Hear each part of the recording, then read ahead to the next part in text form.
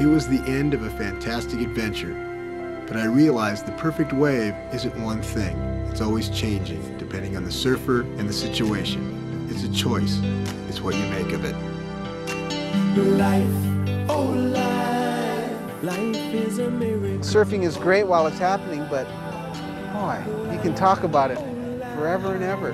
And in a way, you know, the stories are all intertwined. Every time a mother gives birth, tell me who can say Whether it be oil tank surfing or the guy surfing every day of his life or us on the outer reefs, it just carries on and it's just a love and, and a laughter. It just goes on and on and it, it's to the grave.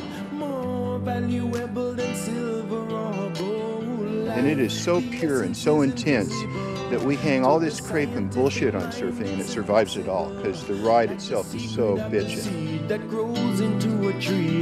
The starry galaxies remain a mystery. Oceans and the seas, the air we breathe. God knows that I believe life is a miracle. Life, oh life, life is a miracle. Oh life, life, oh life, life is a miracle. It's the moments, the people, and the passion. There's something to be said for being stoked. I guess the bottom line is real surfers don't say do.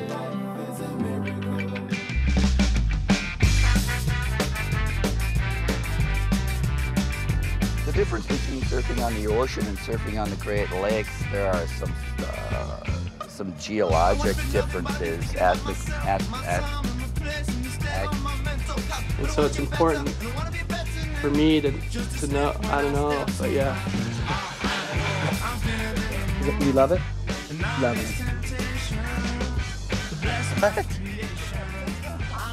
Hey, Dana. Fire away, baby. You're an animal. Thorough. Can we start with something easier? Quiet, please. Rolling. Silencio, por favor. Gracias. Uh, let's cut the camera crew. Five second mini break. Distraction.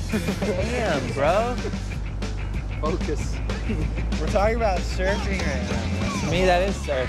oh, yeah. Different time. My name. Well, an Irishman would say, oh, geez, it looks good out there today. You're going to get out and get a couple waves. It looks pretty great. And the Scottish guy would say, oh, great. Look at that. I can't believe it. Are you going surfing or not? Yeah. Yeah. Good. I'm getting more in touch with my feminine side, so now I'm able to deal with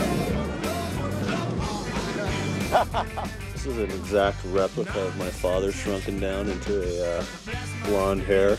Kids like this, they like to throw these around in their bathtubs and stuff. I, I've caught my dad actually uh, playing with this in the bathtub as well. He enjoys it. I mean, I like being around him. I like playing golf with him. I like surfing with him. I like to talk to him on the phone when the phone rings. Sam, I'll be there in a minute. You know, dinner's ready. You're welcome. You know.